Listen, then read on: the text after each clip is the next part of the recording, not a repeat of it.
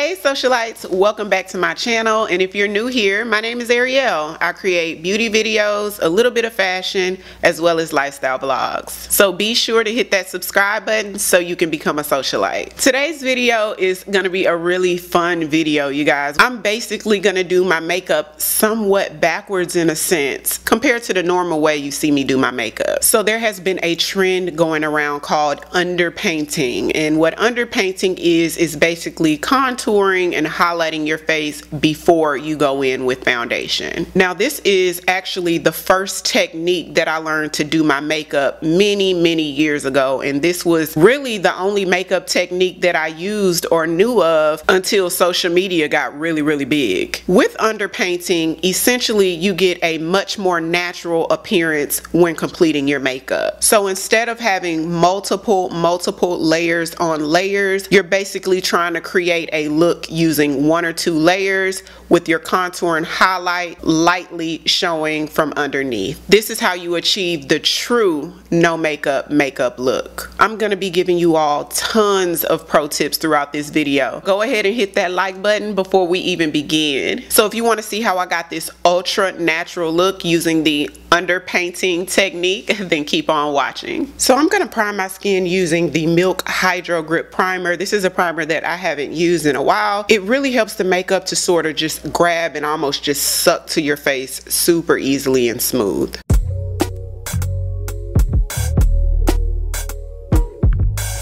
So next we're going to contour and highlight the face before we do the foundation. This is just going to help the look to be very, very natural. It's going to look like it's a natural highlight and contour as if it's the natural structure of your face, if you get what I mean. So I'm going to go in with the Charlotte Tilbury Cream Bronzer. This one is in the color 3 Tan. I'm using this one because this is not a full coverage bronzer, you guys. This one sort of lets the skin still show through. It's not super heavy, if you get what what I mean in regards to the pigmentation. So for a look like this, it's just gonna help it to look really natural. Using an e.l.f. contouring brush, I wanna use this, that way we have that sort of nice structure underneath.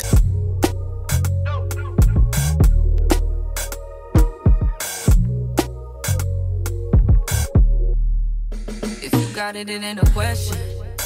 Oh, it ain't no one for guessing. No more than emotionally invested.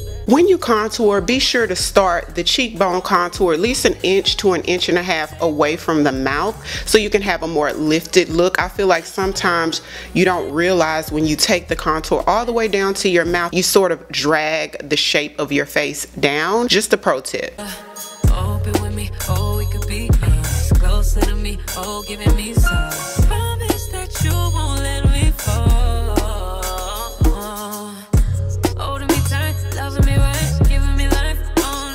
highlighting, I'm going to use the Huda Beauty Faux Filter Concealer. This one is in the color 6.5 G Brittle.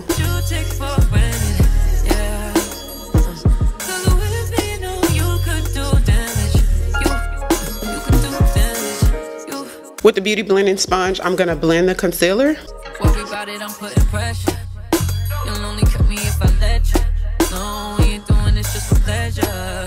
Either learn me or I'm a lesson.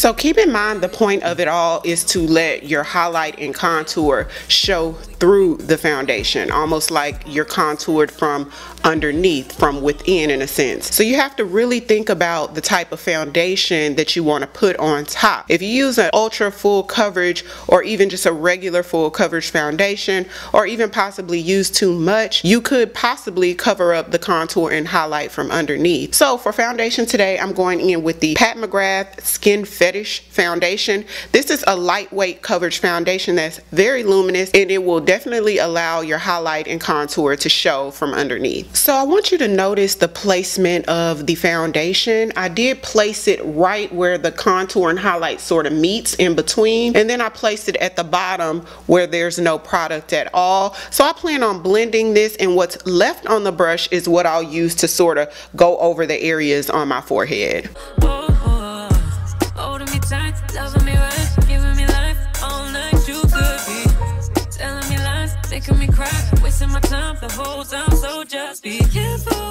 Every layer you add to your face, it gives you more of a dramatic look. Have you ever done your makeup before and you're like, I used neutral colors or I didn't apply too much. Why does it look so beat? Why do I look like I just have this full coverage beat? You may have used the right products.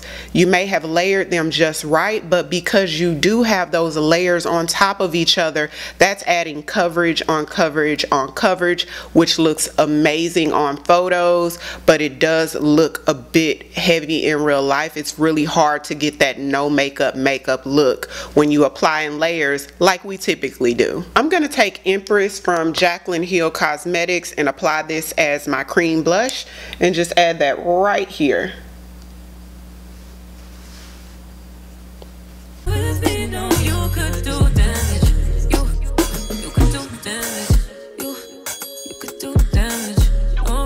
So now that we have our cream products in place, it's time to place our powders. Now we also want to be strategic with this too because for a no makeup makeup look, you don't want to apply too much powder or you don't want to apply too heavy of a powder. So keep in mind some powders are more sheer or translucent, transparent in a sense, and you have some powders that have a lot of coverage or pigment to it. So you just kind of want to be strategic where you place it and which product you use. I'm going to use the Laura Mercier translucent loose powder powder. This one is the regular one, not the Ultra Blur. Typically to set my under eyes, I like to use the Beauty Blender Pocket Puff and that really gives me that smooth blurred effect. But I want something more lightweight today. So I'm going in with the e.l.f. Small Taper Brush. This is a fluffy brush so I can sort of get a more lightweight coverage using this and not apply too much. I definitely want to set under eye because cream products under eye tend to crease.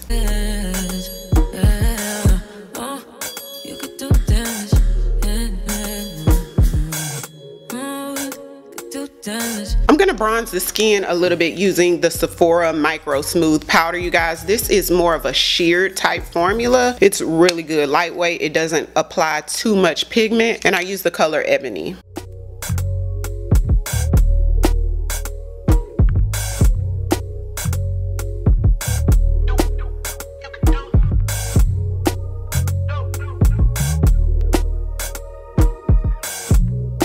Using the NYX Vivid Matte Liquid Eyeliner, I'm going to do a baby wing.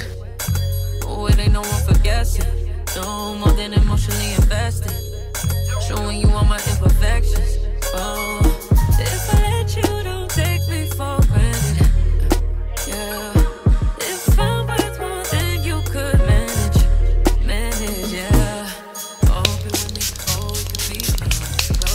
Keep in mind that a really good setting spray is absolutely essential. Anytime you use cream products and combine a powder on top, you sort of want to melt those two products in with each other so it doesn't just look like a powder sitting on top of skin. The spray sort of helps everything to just melt in together. Oh,